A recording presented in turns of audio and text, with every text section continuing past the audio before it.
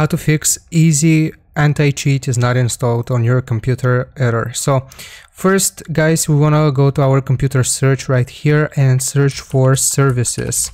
So it should look like this services app. So click on it. And right here, we want to locate easy anti-cheat. So just click on whichever one you want and press E. So as you can see here, we have two versions of Easy Anti-Cheat. So Easy Anti-Cheat for Epic Online Services and Easy Anti-Cheat. Basically, you want to right click on each of those and select select stop so just stop both of those and then after that you want to click on start. So you want to start both of these.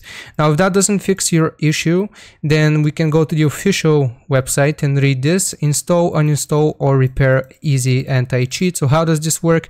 The Easy Anti-Cheat service is typically installed automatically with each game and uninstalled automatically when the last game using Easy Anti-Cheat is removed from your system.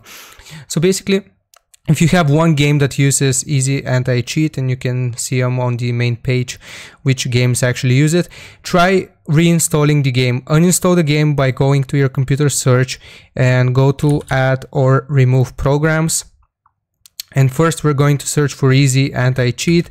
So just type easy and as you can see we don't have it here but if you have it you want to uninstall it. If it doesn't show for you then simply uninstall the game. So for example if it's Fortnite you search for Fortnite and just it's gonna look like this. You want to press on the game itself and uninstall it and then reinstall the game itself and with that easy anti-cheat should get reinstalled with it. So hope this works. Hope this helped helped you either of those two things that you can try. Make sure to like and sub and i'll see you next time